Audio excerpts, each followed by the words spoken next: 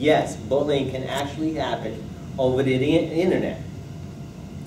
So I really, really want to implore you today, get involved with your, with your kids' school and help, you know, get rid of bullying. It's not right.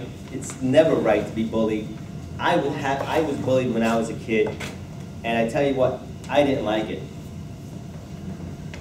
The other thing is be supportive.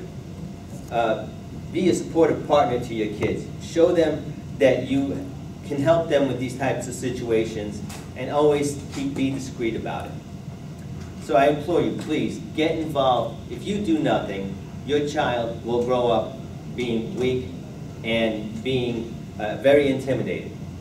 So thank you, and uh, bring up